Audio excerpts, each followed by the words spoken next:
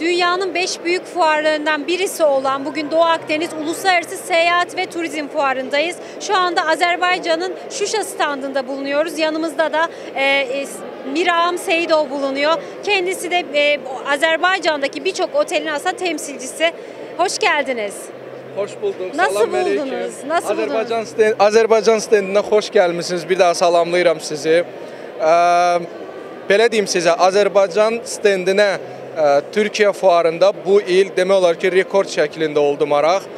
Çox böyük maraq göstərdi qardaş Türkiyə və bu bizim üçün çox böyük bir ə, şərəfli bir gündür həqiqətən. İnşallah bu marağı biz ə, potensial turistlərə çevirəcəyik və hər bir turistə bizim qonaqpərvərliyimizi, ənənələrimizi və ə, belə deyək, Azərbaycanda olan potensialımızı göstərməyə inşallah reallaşdırıb göstərəcəyik. Bir de Fuzuli Havalimanı'na, Airport'a değinmek istiyorum. Ee, Karabağ bölgesine yeni açıldı. Aslında bu da e, turizmin bir noktada oraya doğru kayacağı sinyalini de veriyor bize bu noktada.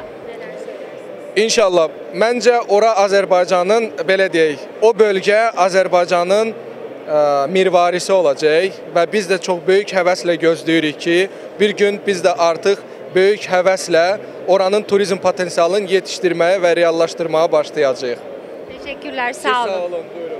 Evet gördüğünüz gibi şu an bulunduğumuz fuar fevralin 12'sine kadar devam edecek. Biz de size buradan çeşitli röportajları, gelişmeleri aktarmaya devam edeceğiz.